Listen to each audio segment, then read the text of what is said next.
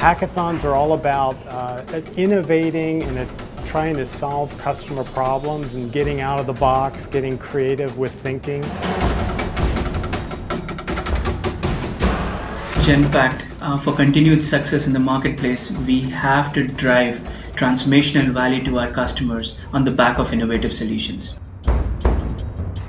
Last uh, couple of hours, we have really achieved a lot. Really felt like a good reality show. It's a mix of uh, exhaustion as well as uh, being excited. I'm quite pumped right now. This is the day where you can become an entrepreneur. I think the best platform I can get in, uh, in my career where I can, you know, uh, give my ideas. How small is that? That doesn't matter. We're really looking for breakthrough ideas, new ways to innovate and solve customer problems. We can get great things done if we work together as a team. And, uh, and some of the IP, some of the, some of the products, some of the prototypes that are coming out of that are just stellar. So we expect to do a lot more of these digital days. Uh, we think hackathons is very clear and a strong part of this, and we're very happy to see the results we've seen so far.